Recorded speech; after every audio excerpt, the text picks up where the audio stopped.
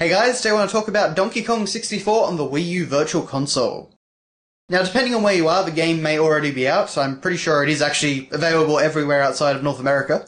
But a lot of people seem to be kind of on the fence about the game. Uh, if you played it before, you are probably interested in getting it. But for those that haven't, the game has had a pretty mixed reception over the years since. And um, I just wanted to give my thoughts on whether or not you should get the game on the Virtual Console. Now, part of that does definitely come down to whether or not you like this genre of games. Um, so, you know, do you like Super Mario 64, Banjo-Kazooie, the first Jak and Daxter, I guess, uh, Spyro the Dragon, you know, games like that. The, you know, 3D collectathon platformer, essentially. And uh, if you do like that type of game, then I would say, yes, do give Donkey Kong 64 a chance.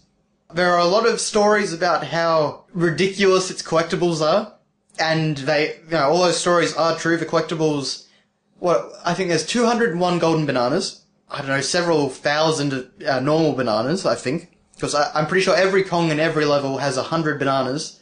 There's five Kongs to get a hundred bananas in each level. So, uh, quite a few bananas over the course of the game. There's banana medals, uh, although those do tie into that. There are banana fairies that you need to capture on uh, camera. There are upgrades uh, to buy with coins that you collect. There's individual, like, mission specific things to collect. There is a lot in this game that you have to collect. But, and this is the really important thing, you don't actually have to collect it all.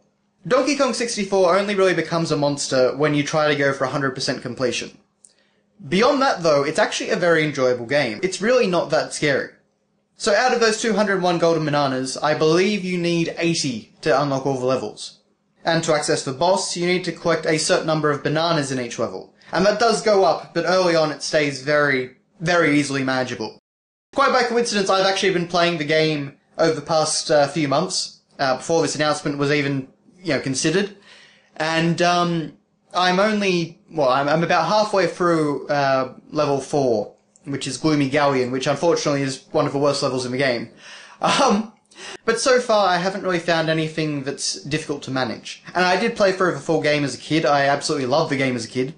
Uh, in fact, I think what a lot of people seem to forget, uh, because I see comments like, oh, Donkey Kong 64 killed the 3D platformer genre and stuff like that. Really, no, because we saw a number of games in that genre on the PS2. You know, at the time, I loved it. Every kid I knew loved it. We were all very impressed by it. Critics loved it. Um, I really don't remember people flipping out about the number of collectibles. To me as a kid, it was just as big as something like Banjo-Kazooie or Banjo-Tooie. And in fact, that's probably actually a very good point. I feel like if you can manage Banjo-Tooie, you should really be able to manage Donkey Kong 64. It's really not a very stressful experience if you're not going after everything. I should say that in my playthrough, I have tried to be thorough, but not worried about getting everything. If there is a, uh, you know, a level gimmick or something that annoys me and I just don't want to do, uh, I haven't done it. And I, so far, I've had more than enough golden bananas. I've got enough to unlock the next level, in fact, and nearly to the one after that. So basically my general point is that if you're worried about, you know, there being too much to collect and things like that and the game just being way too overwhelming, it is a little bit overwhelming in terms of how big the levels are, because they are incredibly impressive in terms of size. But uh, for the most part, I really don't find the game very overwhelming at all. And just to give a comparison, uh, you know, I, I do find a lot of the later levels in Banjo-Tooie to be a bit uh, too big for my liking. Um, the prehistoric one, whose name escapes me for whatever reason, I actually find that to be a bit too big for my liking. Uh, I, I, get very confused in that one. Uh, and Grunty Industries for that matter. So, if you can deal with that sort of thing, then Donkey Kong 64 is absolutely no worries. With all that said though, the game that certainly does have problems. There is a lot to collect, and if you are going, if you are one of those people that has to go after 100%, uh, you're going to be in a bit of bother, I think. It's a very time-consuming game if you're going after 100%, and it's a very difficult game if you're going after 100%. Mainly because some of those uh, sort of gimmicky missions where you're, you know, racing someone or, uh, oh, I don't know, you, you can be doing a lot of different things in this game. They can be a bit of a pain. So, uh, that's why I say, you know, I don't recommend going after 100%. I recommend just kind of doing what you enjoy up to a certain point and then just moving on. Know one of the reasons that this game can be a bit frustrating is that uh, you have five playable characters. And they are all great, they all have uh, their own unique moves. They all feel unique, um, and they're all fun to play as. So that is a really good thing. However, every single one of them has their own collectibles, so they have their own golden bananas, their own normal bananas, and their own banana coins. So what this means is that you often unlock an area with one Kong, go through that area to get their bananas, then go back to the barrel, choose another Kong, then go back through the same area to get uh, their bananas and things like that. It isn't a big time sink or anything, it's just one of those things that is really frustrating about the game. If you could just change characters on the spot, then Donkey Kong 64 would lose a lot of its problems. Because really that sort of having to go back and forth element is really the thing that bogs the game down the most. If that wasn't there, then the game would really probably not have a single pacing problem. Beyond that, though, I think my only other real criticism is of the beginning of the game. And uh, that's where newcomers might kind of maybe get a little bit bored, because I feel like the game does actually start off a bit slow. Once you get into the first level and actually start exploring, uh, I think that's where the game gets really fun. But just those kind of first, I don't know, maybe 20 minutes or so, they are a bit slow to get into. So if you're not enjoying it in those first few minutes, I would definitely say stick with it. On my current playthrough, I was actually kind of, you know, a bit iffy when starting up. I was thinking, well, you know, I, I, want to take another look at this, but maybe it isn't so good and things like that. But once I actually got into it again, you know, I really enjoyed it. So I would say definitely, you know, hold on, see what you think of the, you know, the first world in full.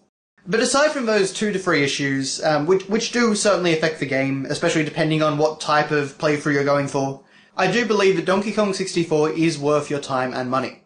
The game controls very well in a 3D space. The environments are very big, uh, very detailed. The graphics for N64 are, you know, absolutely top notch. The music is fantastic. Uh, every character is unique. They've got their own. I mean, they're all built built from the same basis, but they all. It, it's a kind of like a Sonic and Knuckles sort of thing. You know, Sonic's different to Tails, who's different to Knuckles, except that's spread over five characters. The game's also very good value for money, uh, particularly for a platformer. I'm on uh, level 4, like I said, and there are 9 levels in total, plus the actual hub world, which is DK Island, and I'm just past the 7 hour mark. In fact, the game actually says that I'm at 27% completion. So uh, that gives you a general idea of the full length of the game. Uh, particularly considering that I actually know something about what I'm doing. You know, as I said, I have played the game through to completion before, just a very long time ago. In addition to the main campaign, there's also different unlockables, and there is actually a multiplayer battle mode, which I did play plenty of at the time, and uh, I remember as being pretty fun. It was rudimentary, but, you know, enjoyable. And of course, finally, we have the best thing about Donkey Kong 64, the DK rap. which I can honestly say is my favourite rap. But uh, yeah, so basically in general, I do recommend this game if you like 3D platformers.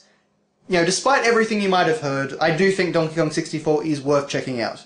So if you were on the fence, hopefully this has told you one way or another if you would like the game or not. But aside from that, I'm just really happy to see this game re-released on the Wii U.